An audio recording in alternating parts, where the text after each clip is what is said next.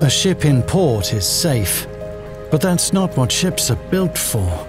Every year, ships come through the port of Rotterdam in need of urgent, critical repair.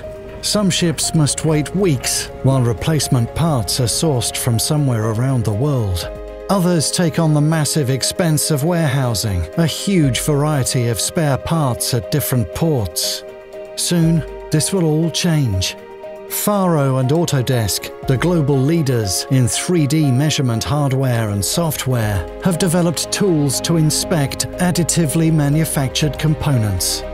These tools helped in the certification of the world's first class-approved additively manufactured ship's propeller, dubbed the WAAMpeller.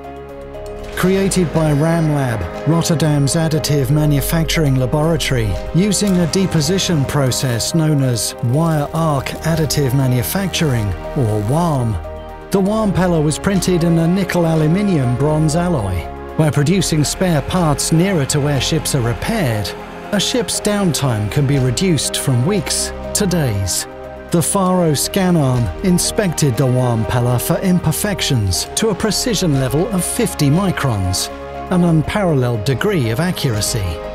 Data from the Faro scan arm was evaluated by Autodesk's PowerInspect 3D measurement and metrology software, which verified that the WAAMpeller was built according to design and distortion-free, showing that additive manufacturing can make propellers quickly, on demand, and to specification. The WAAMpeller is just one of the parts that can be made on location.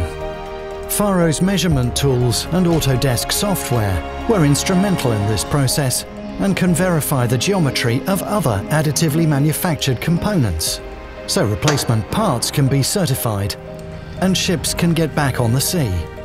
Because while a ship in port is safe, that's not what ships are built for.